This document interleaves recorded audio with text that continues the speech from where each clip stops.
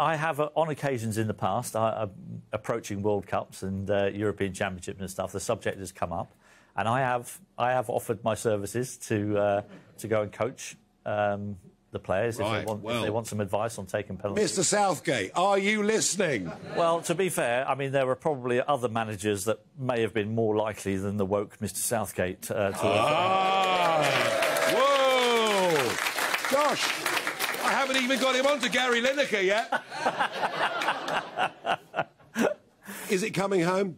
Uh, I, I, I suspect not. Um, uh, as much as I, I would love England to win the World Cup, uh, I think it, with my realistic hat on, I think there are perhaps better teams than us. However, never um, we, we you never know. Football's a funny game. There's some funny results that happen. Well, we'll cross our fingers, as, we always, Absolutely. as we always do.